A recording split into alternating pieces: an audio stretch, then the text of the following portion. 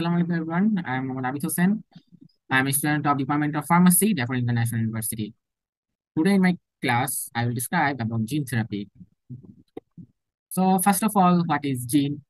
Uh, gene that is a basic unit of our heredity and it encodes how to make protein and DNA when transcripted to RNA and RNA then translated to the protein. So uh, we all know that the protein that carry out most of our life function, right? Um, when the altered causes dysfunction of any kind in protein, the dysfunction of protein leads to diseases. And when uh, in these types of things, there is a mutation in the gene, the genetic disorder is occurs. So uh, if we consider uh, now the genome, genome that is an organism to complete sets of DNA. It includes all of its genes. The genetic disorder. Genetic disorder that occurs when a mutation or any kinds of change that is harmful to our gene that causes the personal variance affects you, our gene, and when we have the wrong amount of genetic materials. So there are several kinds of gene problems related diseases like uh, hemophilia, cystic fibrosis, thalassemia, etc. So our main focus as uh, DNA mutation, that's types of DNA mutation.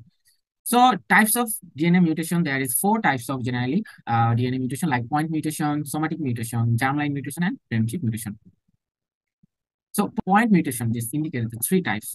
If we, um, in the picture, there is a four types, right? Here, three types is belongs to the point mutation and another one is for compared with no mutation types of genes. If we call the germline mutation and somatic mutation, uh, for germline mutation, uh, the mutation happens in our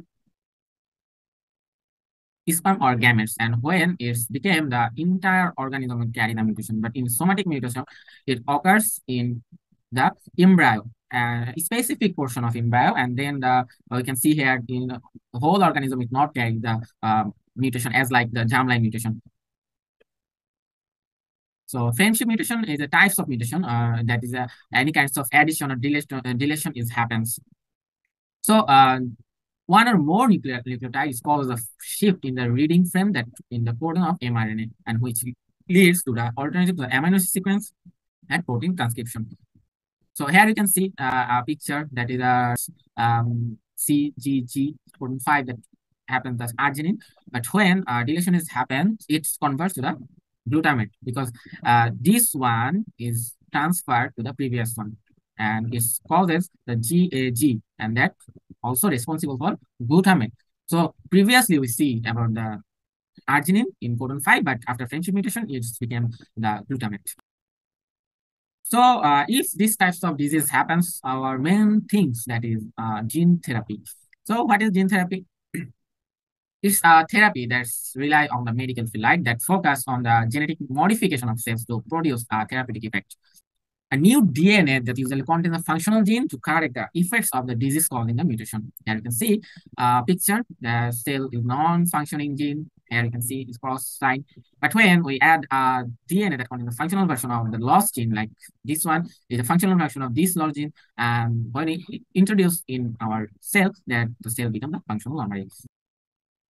So how does gene therapy works? Uh, summarize things like a vector delivers the therapeutic gene into a patient target cell.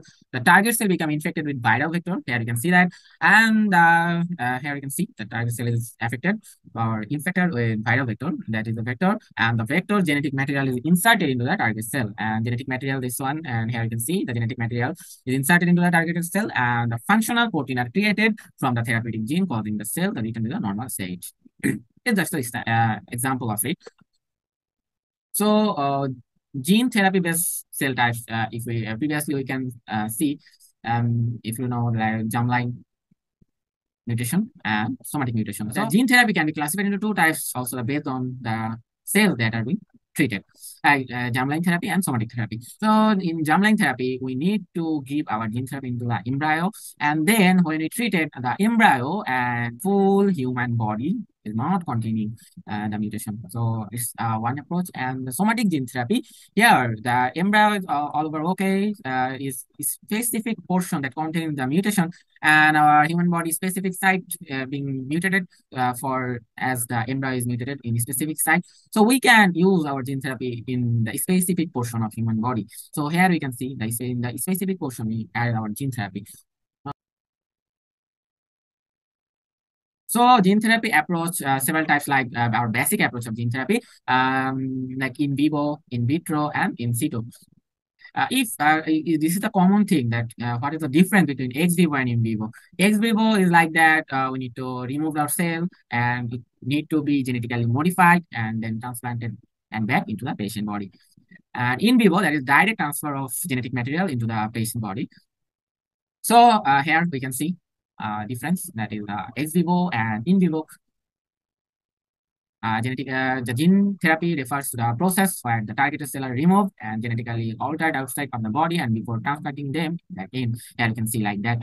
We need to take out a cell, then it should be genetically modified and then again it transferred to the human body. But in vivo, we need to directly transfer our kinds of modification directly to the human body or patient body.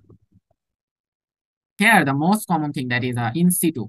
In situ, that is uh, very much a vector is placed directly into the affected tissue. It can be in our heart, it can be in our brain, or any other parts of our body. Okay, finally, the gene therapy approach in vitro.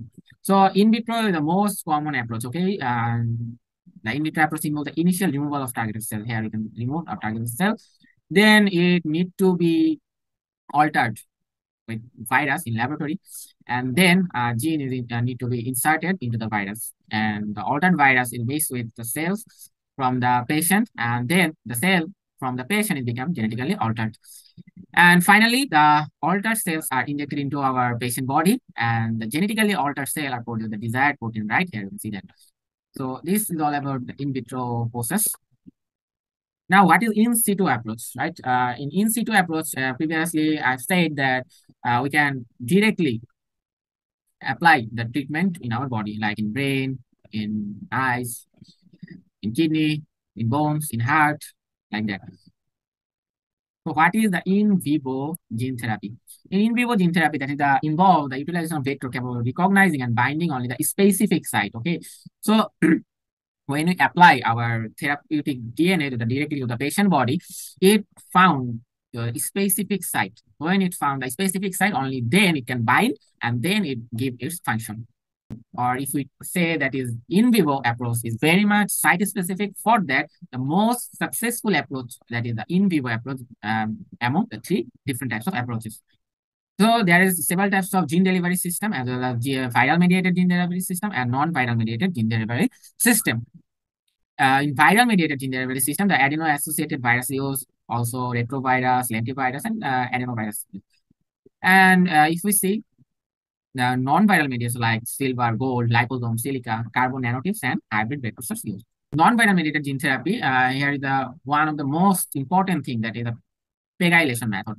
Why pegylation method? That is important for protein drug delivery because pegylation that contains hydroxyl group and it enhances the solubility. We all know that hydroxyl group that are capable to enhance the solubility. And when the solubility increase, the distribution also increases in, uh, throughout our body. And although it, as it is synthetic, uh, it also bypass our immuno response. So normal cell cytoplasm pH and cancerous cell cytoplasm pH is differs. That's why pegylated liposome is specifically targeted to the cancer cell as uh, they can uh, find out the uh, pH specific site as our normal cell pH and cancer cell pH is not similar. So it can found the cancer cell pH and then it can bind and found the targeted site and give its target, uh, targeted delivery. So there are uh, different types of problems with gene therapy like uh, that is short-lived and immunoresponse can be happen. Um, as it is a viral vector, uh, there are several types of toxic and immunoinflammatory response can be happen.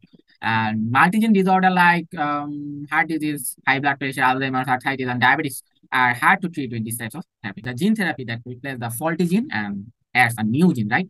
Previously, I said that an attempt to cure the disease and improve our, our body's ability to fight our disease. And gene therapy that promise for treating a wide range of diseases such as cancer, cystic fibrosis, heart disease, diabetes, hemophilia, and AIDS as well. But specifically, it's very much important for the cancer treatment.